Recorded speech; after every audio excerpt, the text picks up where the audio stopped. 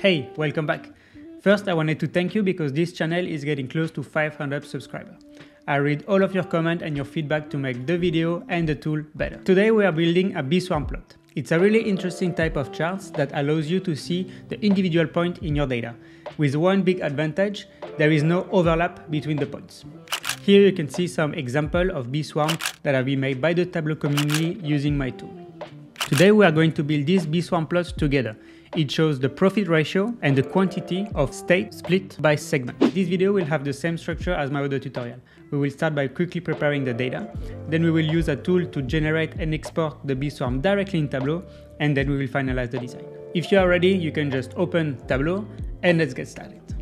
So with Tableau open, we are going to connect to Sample Superstore and we are going to make a simple visualization with the state. Then we are going to take the segment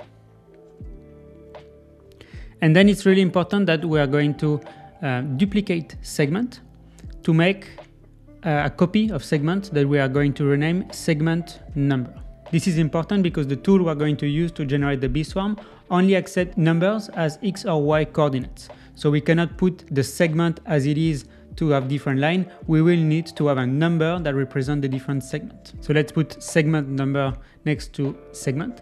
And we are just changing the alias to put one for consumer, two for corporate, and three from, for home office. Now that we have that, we can take the two values that interest us, the profit ratio, and also the quantity next to it.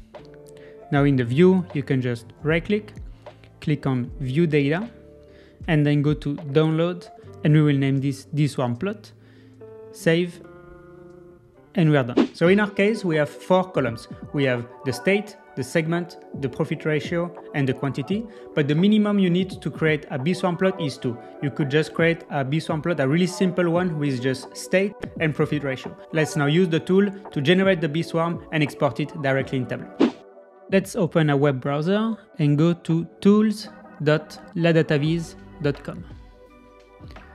On this page, you can see the different generator and we are going to use the Beeswarm. On the Beeswarm generator, you see you have an example. Uh, we will select the file, the file that we just created, the Beeswarm plot. Now we already have a Beeswarm, but it's not exactly what we want. So for the x-axis, we are going to say we want the profit ratio. For the y-axis, we want the segment number, and that is why it was really important to have a number for our segment. And for the size, we are going to use the quantity we can increase a bit the size to put 45 pixels for the biggest quantity. And we are just going to change the width to put something like 1200 or 1230, just to have our visualization a little bit bigger. Now let's go down and click on download Tableau desktop. This will download automatically a Tableau file that you can open and will show our Beeswarm plot. That's it, it's that easy. I spend a lot of time building this tool and I'm trying to make it a bit better every day. If you want to help me, you can like this video and subscribe to the channel. And if you want me to work even faster, you will find a link in the description where you can buy me some coffee. And now, the last step, we will finalize the visualization before we publish it. Okay, let's start and we will go to the worksheet, to the Beeswarm worksheet. And the first thing we will do is we will select the segment and put it in color. Uh, let's click on color and edit the color and I will just use the, the color that I'm usually usually using for this project. So black for consumer, um, orange for corporate, and a blue for home office. Okay. The next thing we are going to do is take the ID uh, and put it in label to already see which state are we looking at. And if I click on label, I can select the font and say match mark color. So it's a bit more uh, aesthetically pleasing, let's say.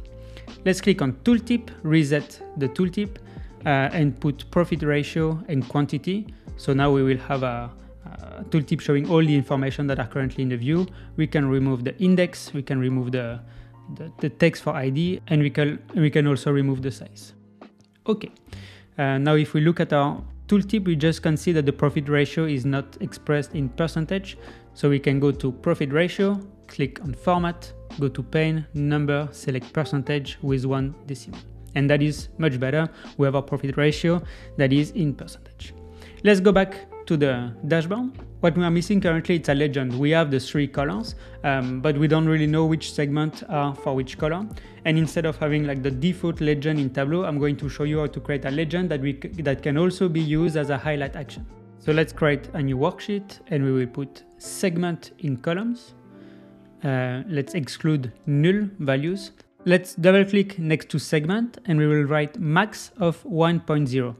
This is a really efficient way of creating one bar chart per segment with a little space on the right that is perfect to make legends.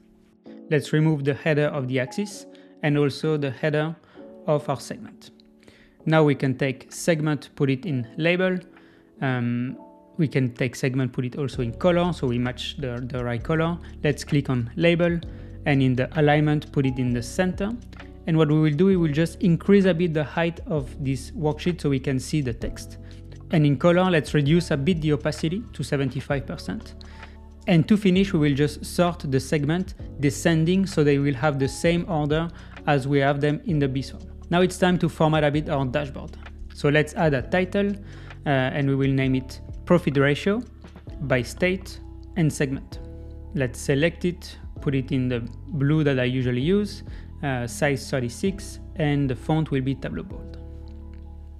Okay, now we can add our legend just in between the profit ratio and the Beeswarm. Let's hide the title and add and remove also that, that legend.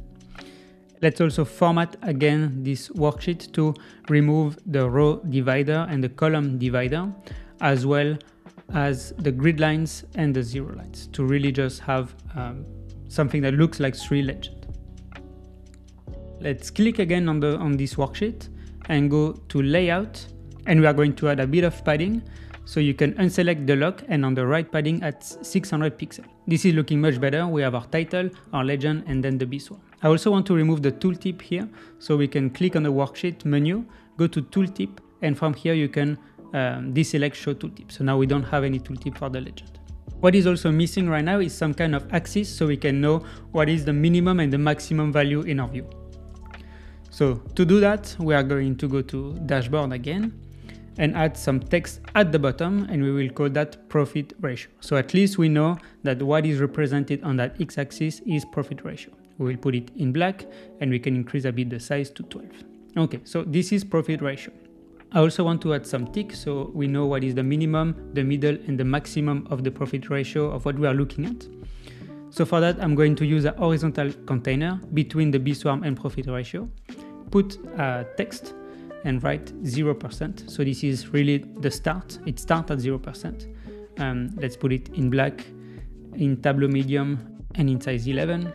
And let's also just copy the value so we don't have to reformat every time that we are going to add the middle and the maximum. So let's check in our view and the maximum is for Colorado and is 68%. So we can add another text to the right of our container and paste our value and say 68 and don't forget to align it to the right. So on the left you have 68 and in the middle we can see that we are around 32%. So I'm going to add a text in the middle to add 32. And sometimes with container it's really difficult to do that. So I'm going to click on the text, double click on the gray outline that takes me to the container and then on the container I can right click and edit the height and I will put it 60 just to have some space and now if I drag and drop my text it's working. Let's paste again and say 32% align in the center. Now I can again double click on that gray area to go to the container and remove the fixed size. The issue that we have right now is like 0 and 68 are not really aligned with what we have in the, in the view.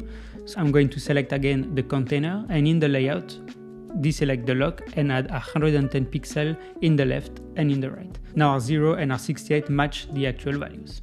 Finally, I'm just going to add a small line. So for that, let's take a blank and put it between the title and the tick. And in layout, we are going to select a dark color, right click, edit height and put 9 to have just a one pixel line in our. That's it. We now have an axis that explains um, what we are looking at, the profit ratio, and in that view, it goes from 0% to 68%. Now let's do some formatting for our dashboard. So I'm going to click on the worksheet and go to the container, and again to go to the big container that contains everything. And I'm going to add 20 pixels just to have some space. Always add some space in the, in the dashboard. And as my background, I'm going to use a light blue. What I need to do now is to remove the white background of my two worksheets. So we can click on the worksheet, format, and in the shading, remove the, the color of the worksheet. And the same for the legend. That is it. Let's increase a bit now the height of our dashboard. That's much better. And let's also rename the, this sheet as legend. Currently, we are missing a bit of interactivity to really make the dashboard uh, really easy to use and really insightful. So let's go to the dashboard menu, click on action, and from the action, we are going to add an action that is a highlight action. Let's select the Beeswarm sheet from source and target, and we are going to select the field and say we are going to highlight only the ID. And we are going to run the action when we hover over a node. So let's click on OK and see how does this look like. So if I hover over Colorado, I can see where is Colorado in the different segments. So I can see that it's performing really well in home office, but not so much in corporate and consumer. And then you can also uh, look at New York, for example, or California. Okay, so that's already good, but we can do even better by making our legend interactive. So let's go back to dashboard action and we are going to add another highlight action and this time the source will be the legend and the target will be the Beeswarm sheet and we are going to run this action again on hover. Let's click on OK. And now the cool thing is like if you put your mouse over uh, any of the segment, all the dots of that segment will highlight. To make it a bit better, I'm just going to go in the worksheet and in the color, I will put a bit of opacity, something like 80%. Uh, and I'm also going to add a white border just to be able to define our circle a bit more. Okay, that's it. Uh, now if we look at our dashboard, I think we are done. We have a Beeswarm showing the profit ratio by state and segment. The only thing we are missing right now is a legend that says that the size of our circle is the quantity, but I will let you do that before you publish the visualization. I hope you enjoyed this video. If you create a Beeswarm using my tool, please add your visualization in the comment because I'm building a gallery where people will be able to see all the visualization that have been built using this tool. Thank you and see you next time.